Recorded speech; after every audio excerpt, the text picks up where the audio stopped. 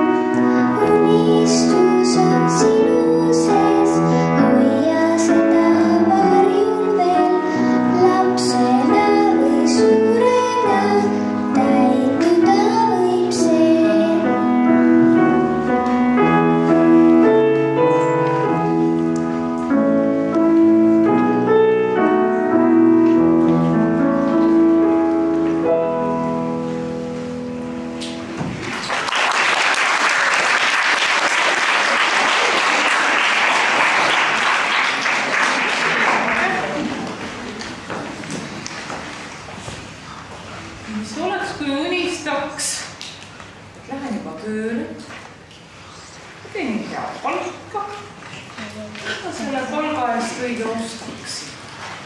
sellest laulab Ida Anett, palgapäev.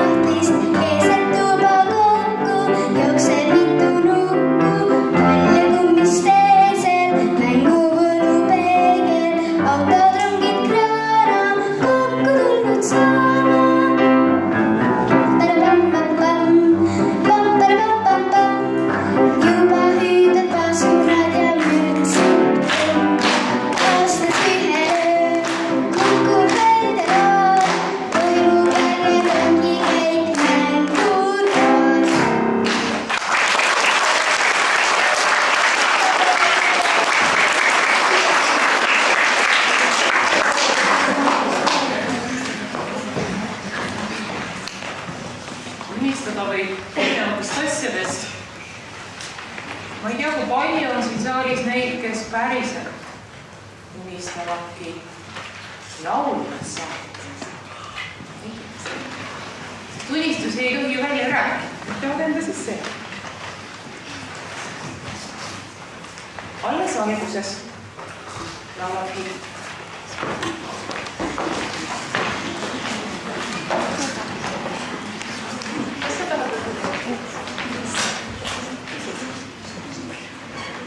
やった!